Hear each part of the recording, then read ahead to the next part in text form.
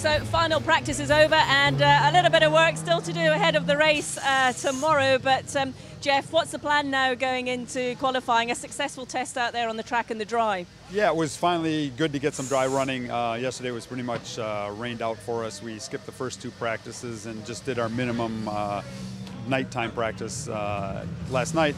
So we got a little bit of running, confirmed what we had found out on Wednesday and Monday and Sunday. So uh, cars are pretty good. Ran through all the drivers, so they got used to the to the conditions because they haven't had some any dry running for a while. So uh, yeah, it was a good practice.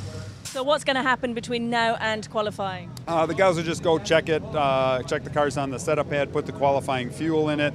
Um, we're not really looking for too many too many setup changes. We'll go have a little meeting here with the drivers and you know just get their final thoughts. Um, the HPD guys will tweak the traction control a little bit. We've been working on that, and uh, no big changes.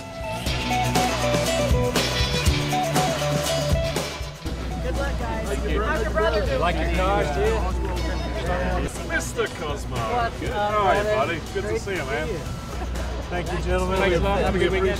So it's the final qualifying of the year, and Ryan Briscoe and Guy Cosmo have got qualifying duties for level five. Guy, it was always going to be a pretty tough qualifying session today. Was there anything more you could have done, do you think?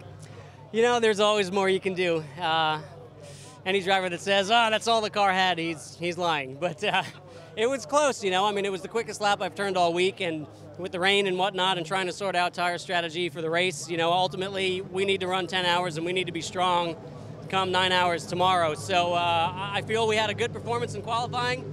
We knew going in that we were focused more on our race setup than just trying to put out the best lap we could in qualifying. So I'm feeling confident about the race tomorrow. Yeah, I always wish I could go faster in qualifying, but uh, I think we're in the window for where we need to be, and our, our main focus is bringing it home tomorrow. So Ryan, a really strong, solid job out there during qualifying, but it's always going to be pretty tricky. The times were really close today. Yeah, it was really close. Uh, we had a great car, you know, and set the quickest time out there. So I don't know if it stands with the running out of fuel on the last lap.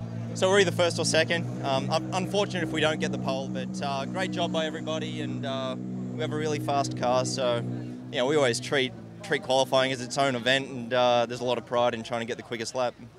During the race, is the biggest thing going to be managing the traffic and, and the tyres effectively?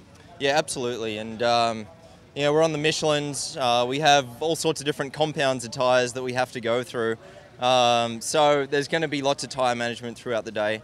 It's a, it's a pretty twisty circuit here. It's quite narrow, so traffic plays a big part. It's a short lap as well, so you're always in traffic. Um, so yeah, it'll be exciting. Um, we'll be we'll be uh, you know going through all the driver changes and doing some pretty long stints, I think. So um, hopefully the weather's nice and we have a good day. Jeff, a little bit of confusion at the end of that qualifying session, so how has it ended up? Well, we ended up second and third with our cars. Um, we had fueled the cars for a specific number of laps, and then a red flag came out, and so we used some fuel coming in for that red and going back and warming up. So we actually did our best lap on what would have been our in lap, but we tried it anyway. Ryan set a, the pole time, but he couldn't get around to the back to the pits. Ran out of fuel on track, which we thought may have happened because we should have come in a lap earlier.